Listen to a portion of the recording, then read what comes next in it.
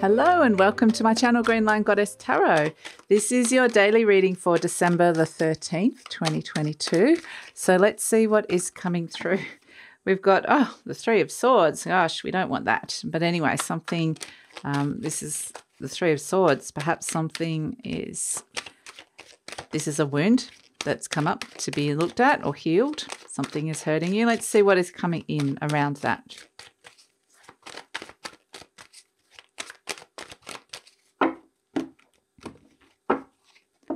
Eight of Cups. And you're going, I'm emotionally detaching from that. I'm walking away. What you've said or done has hurt me, or that just isn't feeling right for me anymore. The judgment energy, it's something needs to be cleared up here. Um, and so it's almost like you, yeah, the, the Nine of Cups and the Magician energy it's like you've got an opportunity here to walk away from an energy that is just hurting you and not feeling right here with Eight of Cups and the Three of Swords. I mean, uh, but what you're moving towards is this judgment energy, which is very, very strong messages of uh, something calling you here. It's a sense of rebirth, but it's a review process. You kind of need to review and clear and clean and and clear stuff out before you can move into something a lot more fulfilling, which is this Nine of Cups here. Something that you'd like to nurture and grow in your life that is bringing more fulfillment. So it's interesting because the Eight of Cups is walking away going, you know? I tried all those cups. One was found, it was found missing. There's something missing here. And we can see it's walking away from the Three of Swords.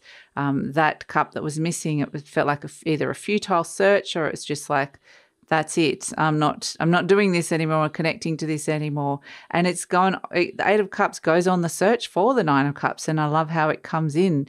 So it really is this opportunity here. And listen to the messages of Spirit with the judgment energy, this could be announcements, news, or any kind of message that comes through to you, whether it's like a soul message, where you're realizing you can finally kind of lay that to rest or let that go and detach from that, which is actually really nice and be more of an internal energy. The Queen of Pentacles is very divine feminine, but it's like, you know what?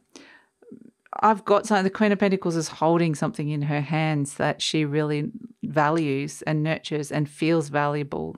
And it feels stable. It feels like it's on stable ground.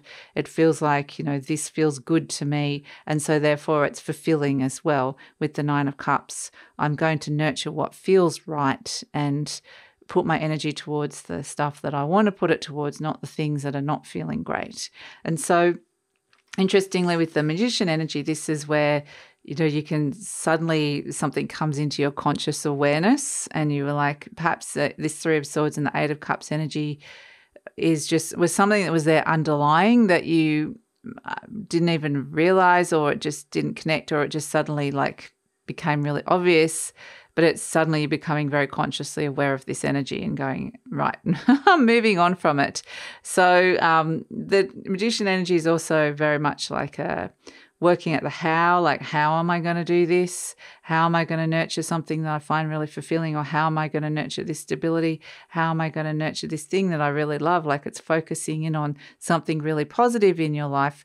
Um, and the Queen of Pentacles, I mean, she's the Capricorn Queen. She's got, um, she's holding on to the pentacle going, I like this. I want to nurture it and I want to build upon it. I want to keep it as it is.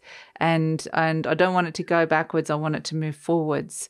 And so I really feel like it's a great day for just um, understanding what it is that where you're putting your energies. Absolutely. Where you're focusing your energies and what and it you know you don't want to put your energy towards something that doesn't feel great. And so but it does feel like there's bigger energies of play with the magician and the judgment card um, that you're being called into action in some way shape or form to clear out an old energy so to make way for positive new energy to manifest in your life with the magician energy. And um, I do feel like you're going to be very strongly guided with that angel right in the center. It's like heralding, talking to you.